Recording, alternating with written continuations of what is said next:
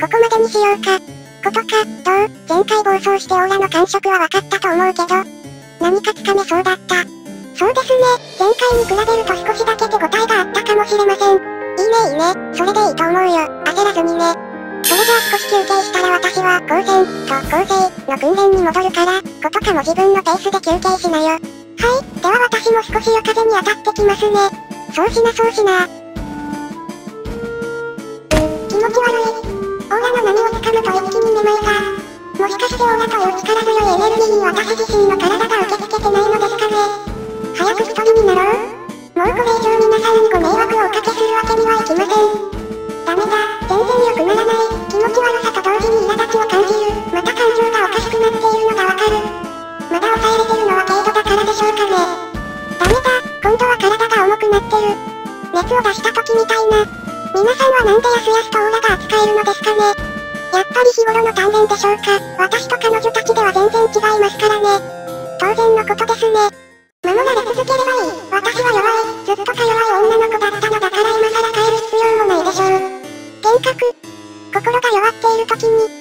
必要ないです。全部理解してる。心の弱い自分なんて今も変わらない。対象にすらならない。残念ながら心の弱い自分に対して対抗するほど強い自分を持てていない。言い聞かせても変わらない。無意味な誘惑はやめて。私。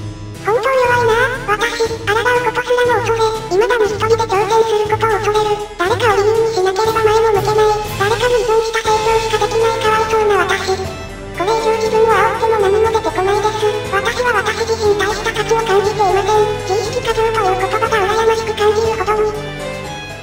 待って、誰だ私をじっと見るあの方は。不愉快だ、私を見るな。そんな差で済んだ目で、哀れみすらも向けない、無関心な表情で。不愉快だ、無断で私を見るな。消えてくれたか。自分の幻覚ならともかく、知らない人の幻覚まで。とうとう私も壊れてきましたかね。私がオラを使うたびに壊れて、おかしくなって、誰からも相手にされない、今までの私と同じように。まただ、また視線を感じる、不愉快だ。起き入っている私を見て何が楽しいんだ。不愉快不愉快不愉快。消えろ天命、天命のくせに私を憐れむな。見るなと言っているんだ、聞こえないのか。消えた。さっきのはうっすらと感触があった気がする。気が狂ってるから感覚までおかしくなったのかな？どんどんおかしくなってる。もう安静にしよう。これ以上何かすればもっとひどくなる。離れたところにもう一人いたな。引き結果、この専属死んだ一番パトと関係が深そうなのは分かった。さて、メアトルに連絡するか。メアトル、狙う専属死の選定を終えた。応答しろ。はい、メアトル、無視するな。応答しろ。聞こえているのか。さっさと返事しろ。大バカ兄貴。返答しろ。平和ボケもいい加減にしろ。どうせまた何かに夢中になっているのだろうな。あいつはいつも夢中になると周りの声が聞こえなくなる。仕方ない。あんな奴に構っていたら私の時間が無駄になる。私は私で動くか。まずはあの女だな。覗きが許されないなら実際にやってやろうではないか。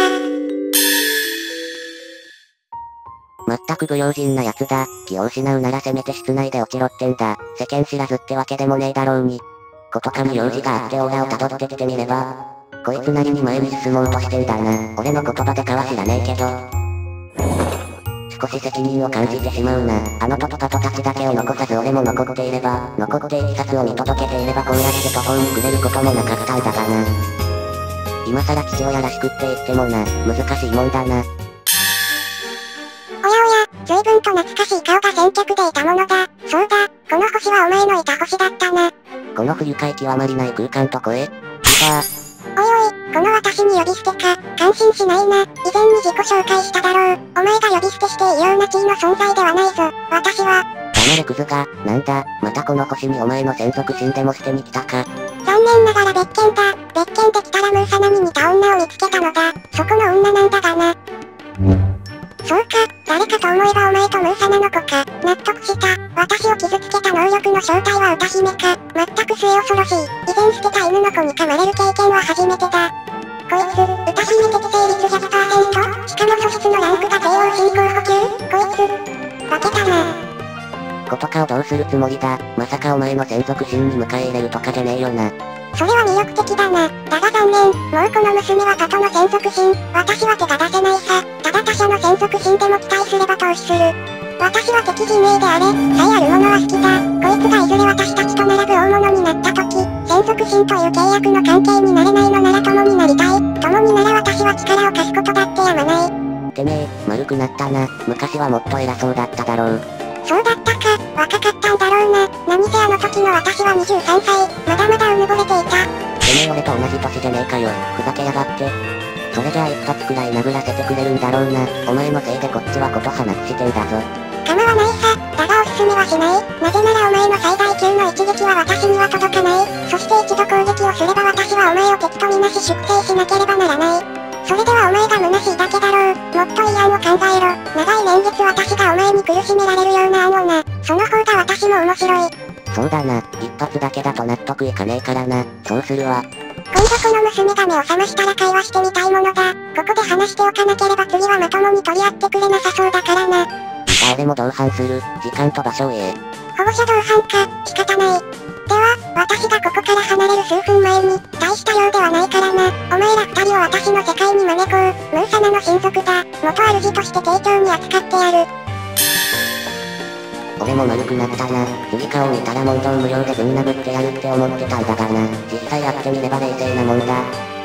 それにしてもなぜこのタイミング、何しにここに来た、あの女でもパトを知っていた。確かあいつの名字はメルトリア。確かパトにくっついていたマリアの名字もメルトリアだったな。容姿も共通点が多い。まさか身内か、次聞いてみるか、もしかするとパトが不在の件を知っているかもしれんな。あれ？私、気を失って、やっと目を覚ましたか。不用心にも程がある。気を失うならせめて予感で失え。全くところ構わず。にいるのですか？こっちが聞きてえよ。お前に用事があったからお前の気配を辿ってきてみたら便所の前で気を失ってたんだ。お前、生理でも重たいのか？一度死んできてくれません。冗談だ。だが今のお前にオーラや能力は早すぎる。段階っていうものがあるんだ。自力で何でもやろうとするな。わかっていますよ。でも私が成長しないと。足手まといのままは嫌なんです。確かにそうだな。だが今お前が無理しても足手まといに迷惑野郎が追加されるだけだぜ。それは、うぬぼれんなことか。お前はお前の仲間をバカにしてんのか。バカになんてしてません。皆さん本当にすごい人しか。そうだ、お前の周りは死に物狂いで努力をしたやつ、お前の人生よりも苦しんだやつ、たくさん理不尽な壁にぶつかっては乗り越えたやつ、そんな連中しかいねえんだ。少なくとも WCBT で本戦に出れる奴らは例外なくそんな奴らだ。確かにこの世の中は公平じゃねえ。才能は存在する。だが才能に頼るな。才能はあくまでお前の努力に対する上乗せでしかない。お前が努力という地盤がなければ才能なんて意味を果たさないんだ。ことか、お前は努力のやり方を理解してねえ。無理することが努力じゃない。周りに迷惑をかけるのが努力じゃない。まずは身の丈に合った努力。そこから始めろ。お前が雑魚なのは全員知っている。誰もお前なんかに過度な期待はしてねえよ。本当言葉選びがひどい。言いたいことがわかるからいいですけど。お前は俺のガキだ。才能は申し分ねえのは間違いねえ。だが今までいた世界とは違うんだ。まずは馴染め。平和ボケの学生気分のままで生き抜けるほどこの世界は優しくねえぞ。気安く頭を触らないでくださいよ。そうだったそうだった。一丁前に女だったんだなお前。知らない間に成長だけしやがって。そういえば用事があったんですよね。要件は何だったのですか？明日の朝俺は防衛軍に戻る。大会再開の目処も9月頃に立つそうだからな。日程が決まれば俺もわざわざ日本に長期滞在する理由もねえからな。また会えなくなるから俺は最後にお前に会いに来た。それだけだ。さっさと言ったらいいじゃないですか。いつも何も言わずに帰ってたくせに。だからことか。パトを絶対に見つけろよ。今俺とお前には転機が来ている。今から話すことを全部聞け。俺とお前の母、そしてリトアという女の関係について、そして、パトの現状を知る最初で最後のチャンスだ。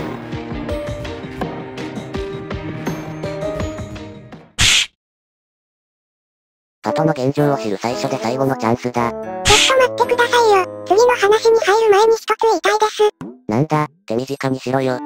先ほどお前の周りは死に物狂いで努力をしたやつ、お前の人生よりも苦しんだやつ、たくさん理不尽な壁にぶつかっては乗り越えたやつ、そんな連中しかいないって言いましたけど、私の苦労って大体あなたから与えられたものばかりなんですけど、まずはそこを誠心誠意謝ってくださいよ。普通に考えて小学生くらいの子供に一人暮らししろって無茶苦茶で最低なことしてますからね。何でもかんでもお金で解決すると思ったら大間違いですよ。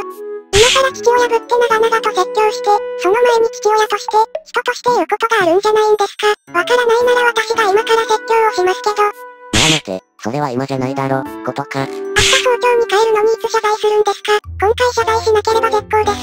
最低な父親だって防衛軍の人に言いますからね。今までたくさん迷惑をおかけして申し訳ございません。今後は良き父親として精進することを誓います。娘の私だから許すんですからね。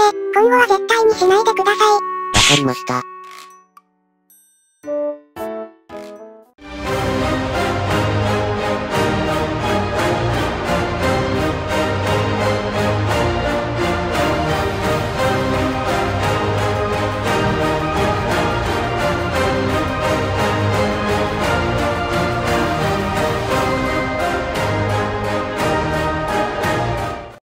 視聴ありがとうございました。今回も楽しめた。楽しめなかった時は、心が疲れてるかも。へえ、じゃあ白がカウンセリングしてくれるんだ。私はちょっと、隣で話を聞いてあげることくらいしか。ふふ、わかってないね。辛い話を聞いてもらうときはね、意見よりもうんうんと聞いてくれる人を求めちゃうものだよ。だったら協力できるかも。ということで辛くなったら白をデリバリーします。お問い合わせの電話番号は、と時間だ。また次回もお楽しみに。またのご視聴よろしくお願いします。